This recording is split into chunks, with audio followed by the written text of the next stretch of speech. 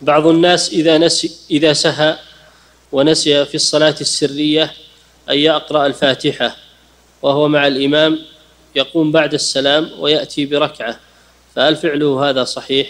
إذا كان يرى على مذهب من يرون أن قراءة الفاتحة ركن في حق المأموم عمله هذا صحيح باعتبار ما يراه هو أما إذا كان أنه يمشي على قول الجمهور فالمأموم ليس عليه قراءة الفاتحة تكفي قراءة الإمام.